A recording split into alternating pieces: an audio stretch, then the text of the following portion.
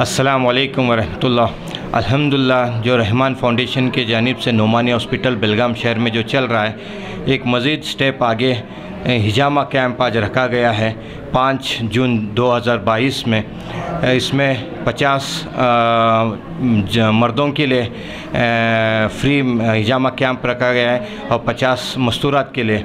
ये स्टेप उठाने का ज़रूरत इसलिए महसूस होगी, ये एक सुन्नत तरीका है इलाज का।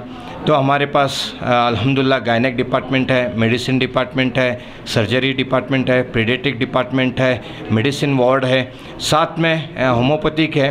एक हिजामा का एक तरीका है जो माशाल्लाह बहुत मकबूल और सुन्नत तरीका है। इसलिए डॉक्टर समील्ला निज़ामी और डॉक्टर तहिया जमादार, जो अल्हम्दुलिल्लाह आज कैम्प में भी है और इन इसके साथ में रोज़ाना अवेलेबल भी रहेंगे। तो उम्मीद है कि इन इंसानियत को इसके ज़रिए से भी फ़ायदा पहुँचता रहेगा। अल्हम्दुलिल्लाह, यहाँ पे सुबह दस बजे से लोग आना शुरू है। इन पाँच बजे तक ये कैम्प चलता रहेगा। कोशिश यही है कि हज़रत मुल्ला सज्जाद नोमानी साहब, दामद बरकतम के तरफ़ से कि भाई इंसानियत के लिए खिदमत जिस रास्ते से, जिस तरीके से हो, करते रहना है। क्योंकि हम प्यारे आका की उम्मत है। तो ये हमारे ज़िम्मे है कि इंसानियत को जिस रास्ते से हो राहत पहुँचाए, इसके लिए अल्हम्दुलिल्लाह पूरी टीम रहमान फाउंडेशन की बेलगाम शहर में अल्हम्दुलिल्लाह फ़ाल है। और कोशिश ये है कि इन आगे से आगे बढ़ते रहेंगे। और इन कल छः तारीख से नर्सिंग इंस्टीट्यूट भी शुरू है, जिसमें थर्टी फाइव स्टूडेंट्स ने एडमिशन लिया है।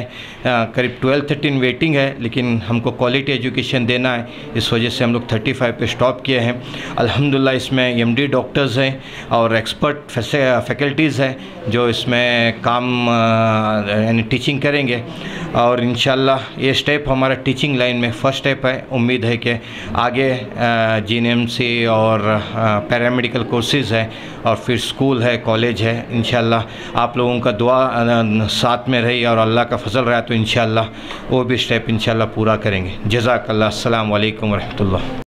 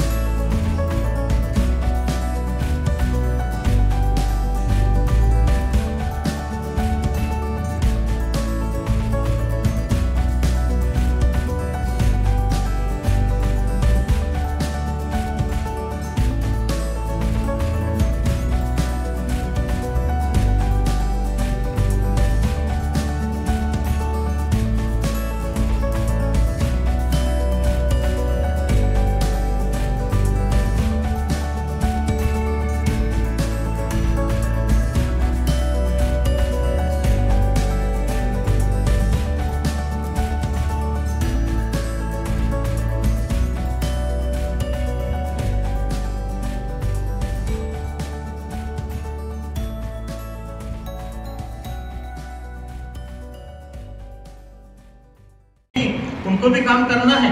तो आपको जो है एक बात याद रखना है कि आप आज यहाँ जिस तरह से आए, वैसे अगले कॉलेजेस में भी जहाँ भी पढ़े, वैसा नाम रोशन करेंगे। और कुछ ना कुछ बनेंगे। ज़िंदगी का एक मकसद बना लो।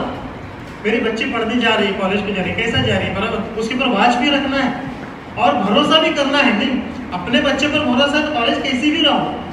कॉलेज में कुछ भी हो, लेकिन अपनी बच्ची अच्छी है तो बच्चे, उसका फ्यूचर भी अच्छा है। इसलिए जो है बच्ची पर भरोसा रखकर कॉलेज को भेजना भी ज़रूरी है। आज कॉलेज की सख्त ज़रूरत है बच्चों को हमारे सिखाने की। डॉक्टर बनाना है इंजीनियर बनाना है, अच्छे उस्ताद बनाना है, कुछ भी बनना है, बनाना है बस। तो इसलिए जो है आप पीछे मत हट- आपको जो है बहुत सारी तंजीमें हैं। अंजुमन कमेटी है अल्फला बैतुलमाल है और ऐसे बहुत सारी कमेटियाँ हैं, आपको सपोर्ट करने के लिए तैयार हैं। अपोजिट जायका होटल, कभी मुझे कांटेक्ट कीजिए, आगे के मैं स्टेप्स क्या है बता दूँगा। हम गरीब हैं, पढ़ाई करने हैं हमारे सेठ साहब ने बहुत सारे मुसलमान के बच्चे, हमारे एम एल साहब, उनके पास भी जाके ठहरते थे इंग्लिश मीडियम में एडमिशन दिलाओ एडमिशन दिलाओ एडमिशन सर के पास आते थे, कितने जने को दिलाने का है पाँच दिलाएँगे, दस दिलाएँगे, मना करने लगे। स्कूल वाले हमारे मुसलमान को एडमिशन को, हमारे फिरोज सेठ साहब हमारे राजू साहब बोले सो एडमिशन को मना करने लगे। तब डिसीज़न ये लिए, हम क्यों स्कूल नहीं करेंगे? आज इस स्कूल में तीन हज़ार बच्चे पढ़ रहे हैं। ये एक मकसद रहना चाहिए। एक सोशल वर्कर है। इसके लिए pre primary primary high school PUC ITI and degree and MCom KG to PG एक कैंपस भी एजुकेशन कैंपस बन गया है।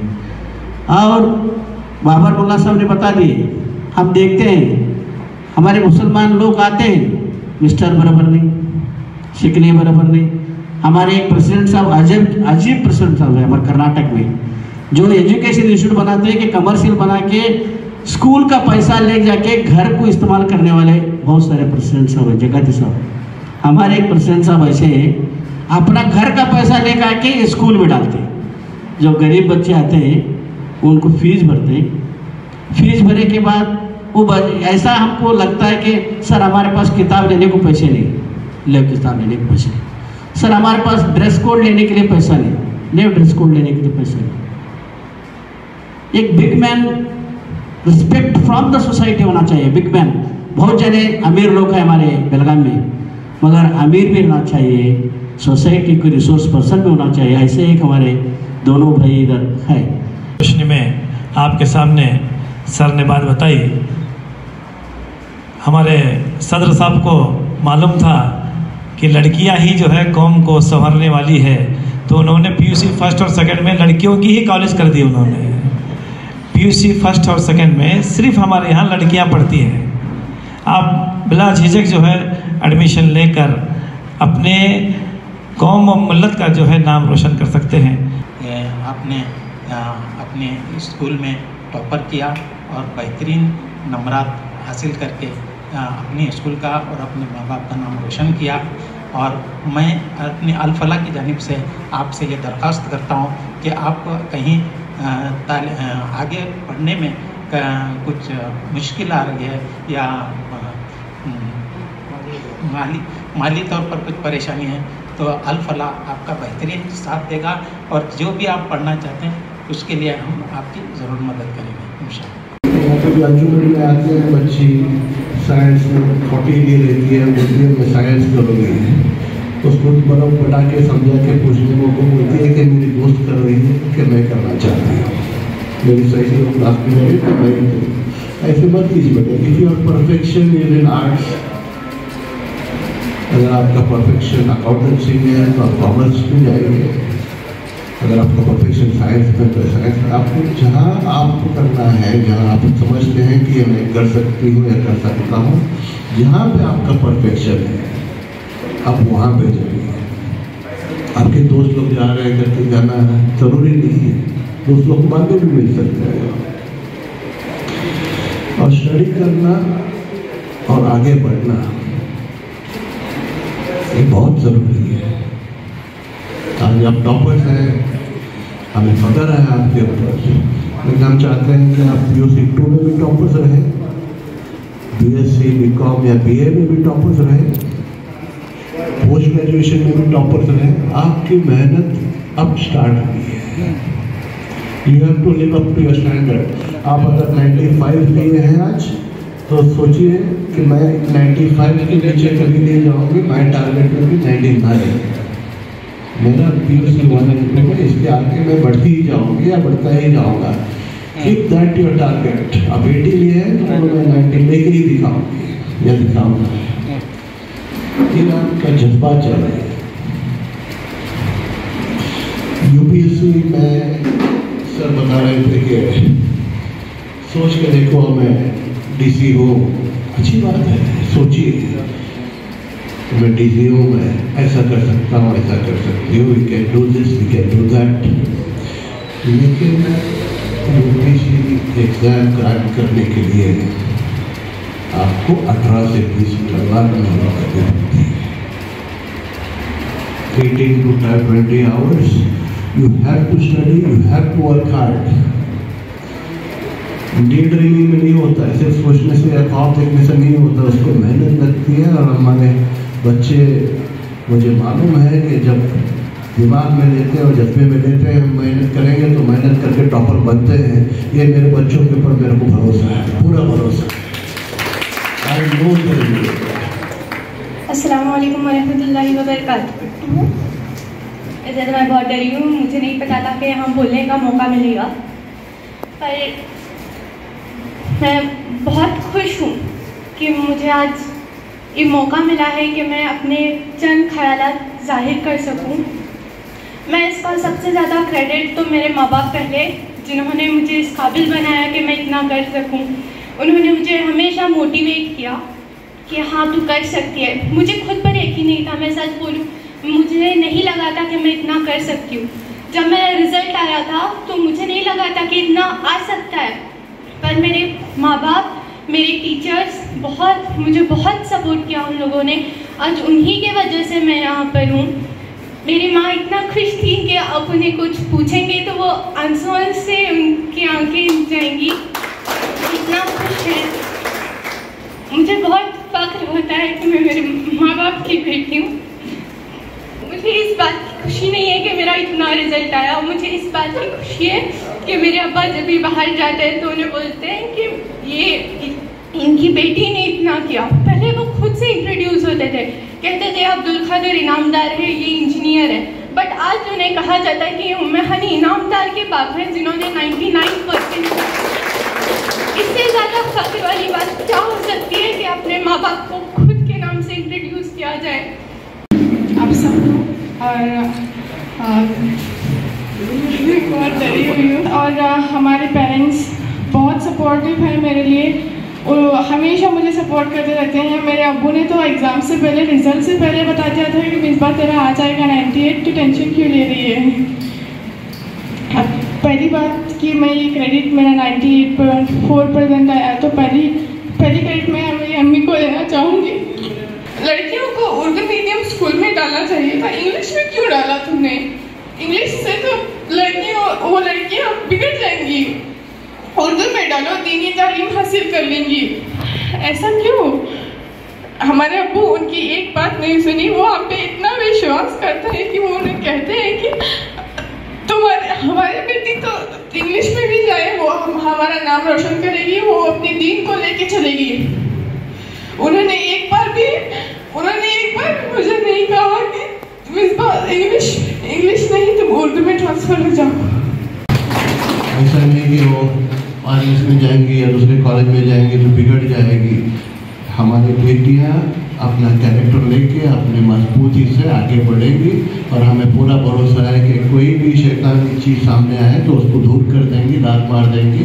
हमें पूरा भरोसा है। We will always be with orders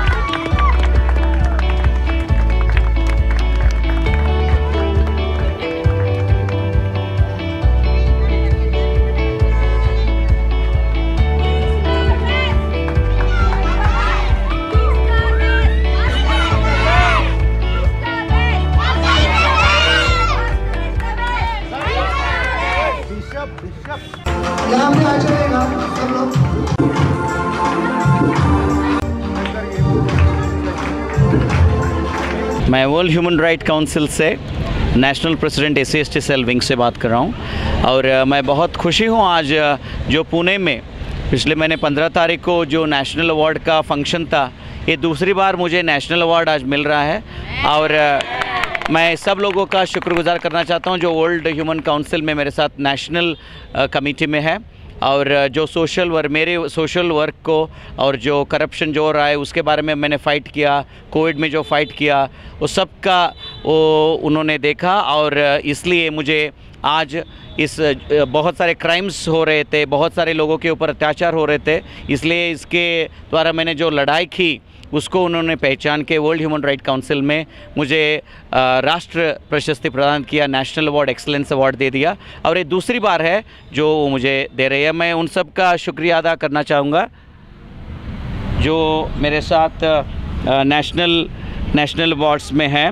So I I would like to thank doctor mister Ansari sir जिन्होंने मुझे बहुत uh, वो मैं उनको मैं एक स्पिरिच पप्पा कहता हूँ उनको, उन्होंने मुझे चलाया और शेख सर जो हुबली के रहने वाले हैं स्टेट प्रेसिडेंट हैं, उनका भी धन्यवाद करना चाहूँगा, अंसारी सर का धन्यवाद करना चाहूँगा और डॉक्टर हज सर का भी मैं धन्यवाद करना चाहूँगा और डॉक्टर पासन प्रसन्न गोस्वामी सर का भी मैं धन्यवाद करना चाहूँगा और मीरज अंसारी सर का भी धन्यवाद करना चाहूँगा, मौलाना अनवर हक का भी सर जी का भी और राम अकबल बहादुर सिंह जी का भी और हाजी सैयद लायक, उनका भी जो सारे और स्पेशली ये सब काम करने के लिए मुझे बहुत अंसारी सर ने इंकरेज किया और मेरे साथ कभी भी थे और हक सर ने भी मुझे बहुत इंकरेज किया और पंजाब से आरती राजपूत के कहे, उन्होंने भी, वो फ़िल्म के डायरेक्टर भी है और उन्होंने मुझे बहुत इंकरेज किया।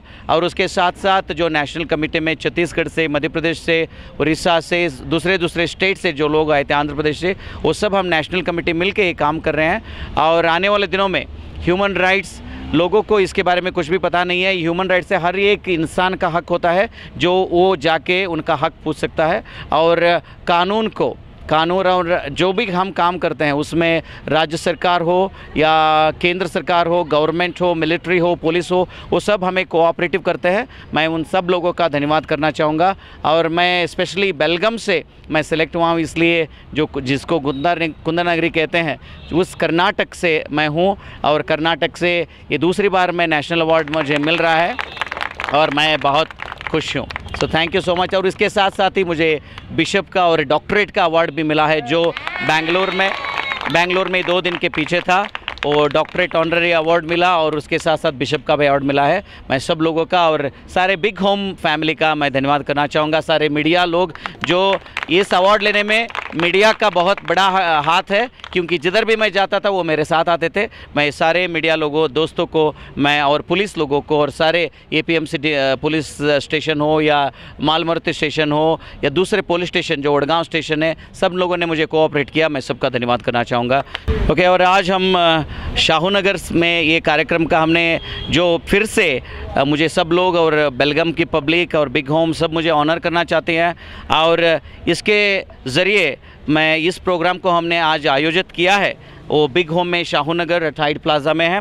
और इसका मेन आज चीफ गेस्ट है श्री सतीश अन्ना जारकिहोली जो K P C C working president है और एम एल एम के हैं और श्रीमती लक्ष्मी हेबलकर अक्का है जो रूरल बेलगाम के एम एल ए हैं और श्रीमती जयश्री मालगी जी है जो ex cooperator city cooperation Belagavi uh, Belagavi Congress leader है और Shri Chandraraj Hattiholi M L C Belagavi हैं वो सब लोग वाकई वो लक्ष्मी अक्का और चंद्रराज सर, वो बेंगलोर से आ रहे हैं। उन्होंने कहा है, हम हंड्रेड परसेंट अटेंड करेंगे। सतीश अड्डा ने भी कहा है। और वो हमें बहुत शुक्रगुजार करता हूँ। और इसके साथ साथ माल मारुति स्टेशन के C P I sir, Patil sir ने भी उन- उन्होंने मुझे बधाई दी है। और A P M C C P I sir जब हिरेमठ सर ने मुझे बधाई दी है।